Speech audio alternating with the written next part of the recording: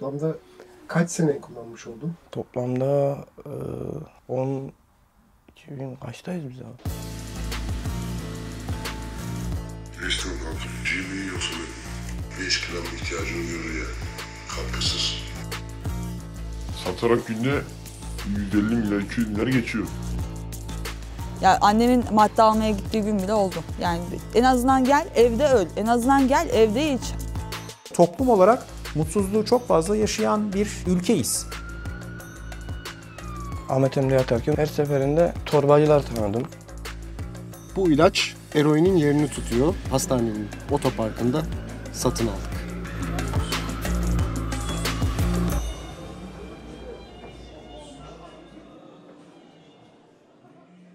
Metamfetamin, alfa metil fenetilamin tam olarak bilimsel karşılığı budur.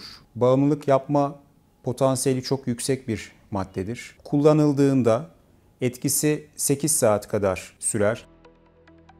Telegram'da basit bir aramayla uyuşturucu satılan bir gruba denk geldik. Grubun adı Metin amcanın Metin amca metamfetaminin sokak dilindeki karşılığı. Bu grupta yaklaşık 1200 kullanıcı ve satıcı var. Kullanıcılar ilçelerini bildirerek buradan e, satıcılara ulaşıyorlar. Satıcılar da ürünlerine dair görüntülü ilanları vererek kendisine alıcı buluyor. Civarında olduğunu söyleyen bir satıcı var. Bir iletişime geçelim bakalım ne olacak. Şu andaki verilere göre 15-64 yaş arası popülasyonda 51 milyonun üzerinde kullanıcı var dünyada. Peki niye bu kadar yaygın e, diye baktığımızda aslında kullanımının kolay olması ve ulaşımının kolay olması esrardan sonra en fazla kullanılan uyarıcı madde olarak önümüzde duruyor. Satıcıyı aradık ama ulaşamadık. Sesli mesaj gönderince hemen cevap verdi. Ne istiyorsun kanka? Kağıt mı şey? G mi yoksa ne? Net istiyorum. Eşya dolu eşya. Boş eşya değil. Katkısız. 5 gram ihtiyacını görür yani. Sen 3 tane getir bana baba. Tamamdır. Başka bir şey istiyor musun? G falan. Başka bir şey istemiyorum. Yeterli bu kadar. Şu an kaç gündür temizsin? Şu an eroini 8 gündür içmiyorum ama meti 4 gün 3 gün oldu. Toplamda kaç sene eroin kullanmış oldun? Toplamda e, 10 2000 kaçtayız biz abi? Onu, onu, onu, 2022'deyiz. 12 sene bir fiil kullandım. 13 yaşında esrarla başladım. Askerden sonra da eroine düştüm. Son bir senedir de aşırı şekilde eroinle met kullanıyorum. Bırakmaya çalışıyorum. Benim babam alkolikti. İşte annemle babam ayrılınca annem çalışmak zorunda kaldı. Ben de otomatikten sokağa düştüm. Öyle bir, bir seferden bir şey olmaz, iki seferden bir şey olmaz. Gel oğlum bak sen nasıl delikanlısın işte iç. İşte bunu ağır abiler içer. Biz de çocuğuz, bilmiyorduk. Sonradan bir baktık ki işin içine düşmüş. Dosyalar, işte gasplar. Krize giriyor musun? Krize giriyorum. Affedersiniz, kabız oluyor insan, ishal oluyor, yemek yiyemiyor, kusuyor, ağrılarım oluyor. Ee, ek- eklem ağrılarım işte, bel fıtığı. Yani bel fıtığının 10 katı daha kanser hastasının ağrısından daha beter bir ağrı oluyor. Hiç geçmeyecekmiş gibi oluyor abi. Ama tabii dayanabilirsen geçiyor. Onu da biliyorum. Suya elleyemiyorum mesela. Genelde eroin bağımlıları su- sudan korkar. Ben de korkuyorum. Bizim en büyük ilacımız da oymuş. Böyle arada kaşınıyorsun. Bu, bu şeyin bir etkisi mi? Ya abi nasıl diyeyim? Ya şimdi biz madde bağımlıları yani odaklanmamız zor olduğu için mesela benim elim ayağım oynuyor. Böyle kaçmıyorum, böyle bir şeyler yapıyorum. Yani ben böyle yapmasam seninle konuşamam yani öyle diyeyim. Ben de öyle. Bilmiyorum. Çoğunlukla bütün sosyal sınıflarda yani alt, orta, üst sosyal sınıflardaki insanlar bunu kullanabiliyorlar. Cinsiyet dağılımına baktığımız zaman e, erkeklerde biraz daha fazla görülmekle birlikte hemen hemen eşit. Ama eğitim düzeyi çok yüksek olan, üniversite mezunu bir insanda da görebildiğimiz gibi ilkokul mezunu, eğitim düzeyi çok yüksek olmayan insanlarda da bunu görebiliyoruz. Zengin bir iş adamıydım. Ee, o süreçlerde emlak sektöründe, gıda sektöründe, galeri sektöründe ve e, buna benzer birçok sektörde iş yapıyordum ve şirketlerim vardı. Metamfetamin benim hayatımda her şeyimi elimden aldı diyebilirim. Ee, servetimi kaybettim. Eşim beni terk etti.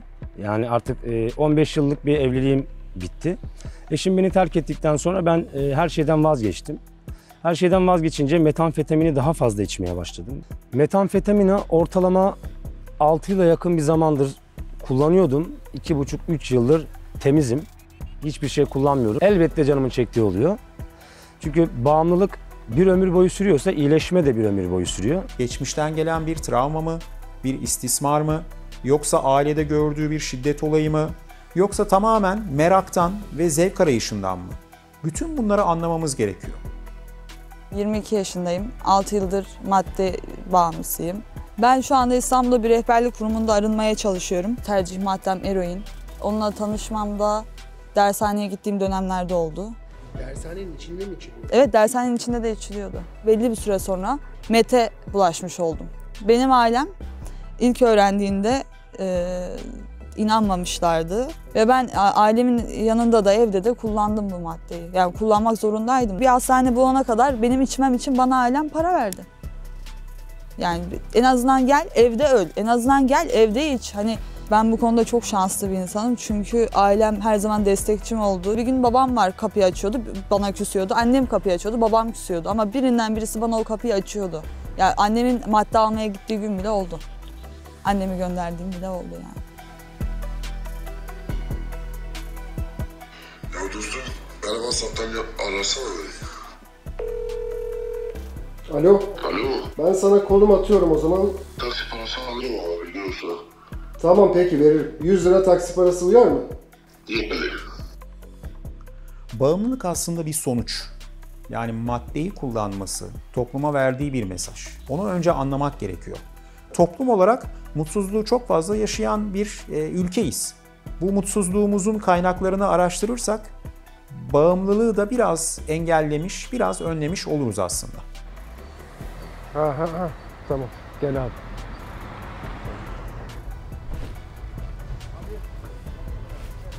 Aha. Gel abi. Eyvallah. Bir say istersen. Mahcup etmez değil mi? Ha?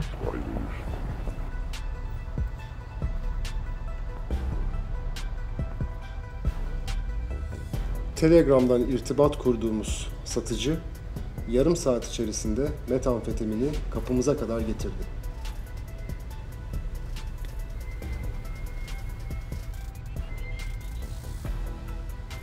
Bu alışverişi metamfetamine ne kadar kolay ulaşılabildiğini göstermek için yaptık.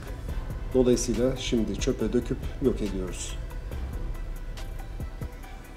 Özellikle son 4-5 yıla baktığımızda madde bağımlılığında, madde kullanımında e, büyük bir artış olduğunu gözlemliyorum. Madde kullanma yaşının 9'lu yaşlara kadar hatta 6'lı yaşlara kadar e, düştüğüne ilişkin bilgiler var. Ve TÜİK bilgileri bunlar. Gördüğün en küçük kullanıcısı kaç yaşında? 6 yaşında. Şaka yapıyor. Vallahi bak abi. 6 yaşında ne anlar ki? 6 yaşında adam sigara içiyor. Vallahi diyorum 6 yaşında burada adam hap atıyor, deliriyor, çıkıyor, geziyor ortalarda. Anası babası yok mu? Var abi. Anası babası da atıyor, o da atıyor. Zaten aileden geliyor abi. Aile içiyor ya, onu görüyor, ben içeceğim diye. Alıyor bir tane atıyor da. Devam. Peki günde kaç kişiye satıyorsun amfetamin? 70, 80, 100. Bazen daha çok geliyor. Sana telefonla mı ulaşıyorlar, sokaktan mı? Sokakta buluyorlar. Telefon, telefon numarası falan vermiyor. Sokağa geliyorlar. Sokak belli zaten. Satarak günde 150 milyar, 200 milyar geçiyor. Paranın hepsi başa gidiyor. Başa tamamını veriyorsun. Yüzde kaçını alıyorsun? Üç kişi zaten abi. iki buçuk ben alıyorum. İki buçuk diğerleri alıyor. iki buçuk biri arıyor. Bu baş sana nasıl sattırdı bunu yani? Sen mi gidip adamı buldun, o mu seni buldu? Yine amcam götürdü onu. O dövmede ne yazıyor? Babam dedi ya. Seviyor musun babanı? Ben doğduğum günden beri iki defa gördüm. Vallahi hayal gelen hala çıkmadı. Ama çok dosyası vardı. Hep uyuşturucu mu? Uyuşturucudan vardı, hırsızlıktan vardı. 9 tane tedavi geçmişim oldu. Hastanelerin birçoğunda e, bazıları tamamen aile zoruyla yatıyor. Ben de ailemle gittim. Kafeteryadayız ama annem beni hiç yalnız bırakmıyor. Asker gibi de yanımda geziyor. Çünkü oralarda da bir uyuşturucu muhabbetlerin döndüğünü duymuş. Bir çocuğun elin, yanından cebinden pipe düştü. Bana da ondan bir duman. Çünkü ben o pipe'ı gördüğüm için bana vermek zorunda hissetti kendini. Bana hastanede pipe'ı verdi ve ben orada met içtim. Bana dedi ki hani Rabia ben uyuyayım uyanayım kalanını da yarın içeriz. Yani tedavi olmaya gittiğim yerde böyle bir teklif geliyor. E, Ben onun uyanmasını bekleyemedim ve o gece annemi de oradan aldım. Bavulları toplattım. Gece 1-2 gibi çıktım oradan. Tutamadım kendimi. Ahmet Emre yatarken uyuşturucu kullandım. Ahmet Emre'ye 6 kere yattım. Her seferinde ilaç bağımlısı oldum. İşte torbacılar tanıdım. Ya kimse buna mani olmuyor mu derken e, hastaların yakınları getiriyordu. Yani mesela çocuk annesini arıyordu. İşte anne getirmezse ben kaçarım. Kadın da ne yapsın? Korkuyordu yani bilmiyordu. Örnek vereyim görüş esnasında çöpün içine atıyordu. Oradan alıyorduk. Uyuşturucu bağımlılarıyla yaptığımız görüşmelerde İstanbul'daki amatemlerde çokça torbacı olduğunu, e, hatta tedavi sırasında dahi e, uyuşturucu kullanabildiklerini, yani İstanbul'daki amatemlerde torbacı kaynadığını duymuştuk. Bunun gerçekliğini yerinde araştırdık. Yatışı aldım çantayı hastaneye gittim. Bekliyorum böyle. Orada bir kanıma girdi dedi ne yapacaksın oğlum gidelim takılalım böyle. Gittim öyle. Ben de çok karşılaştım. Bir de seni de caydırıyorlar mesela. Aynen. Aklına giriyorlar yani. Canın çekiyor senin de sen de çıkıp gidiyorsun.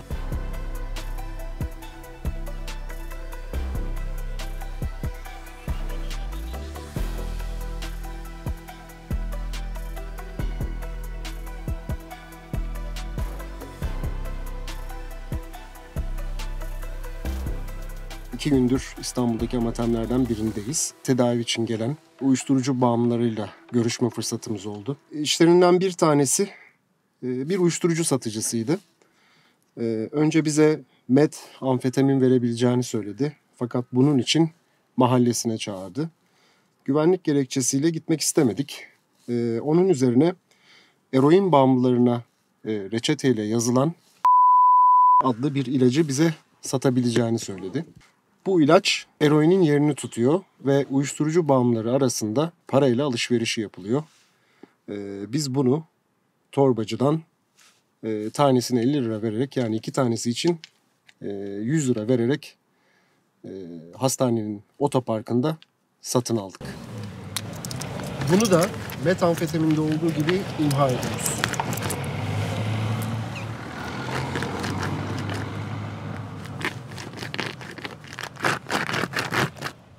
Çok güzel çalışmalar yapılıyor. Amatemlerde, çamatemlerde, eğitim araştırma hastanelerinde ancak yeterli değil.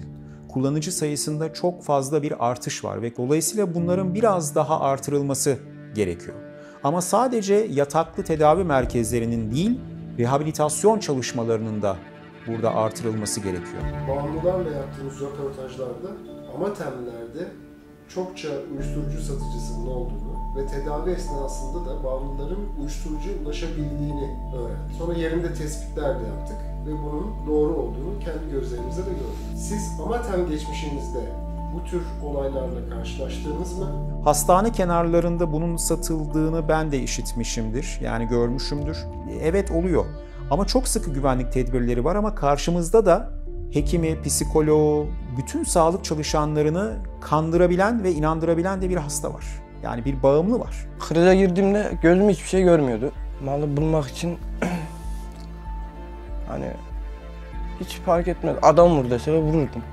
Hatta oldu da 5 milyara kadar adam vurdum yani. Sık, sıktım da Allah'tan bir şey olmadı. 5 milyara yani abi adam vurur musunuz yani siz? Ben yaptım.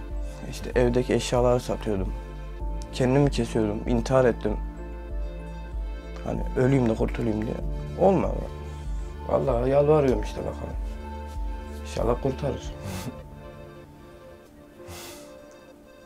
Değil mi? Yani.